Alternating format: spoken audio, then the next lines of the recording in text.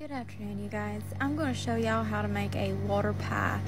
And I showed y'all how to make a pie crust and how to roll it out already. Well, I haven't posted that video, but I will soon.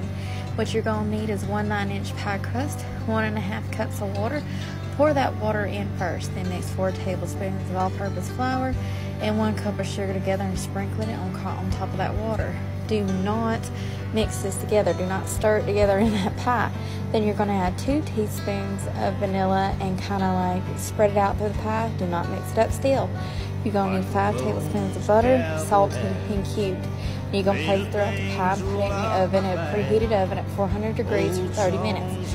And it's to come out looking like this, and all bubbly and crusty and beautiful. And what you're to do is, is let that sit there and let that congeal. And then it's to make the most buttery, sugary, best pie you've ever had. And it's so simple, you guys.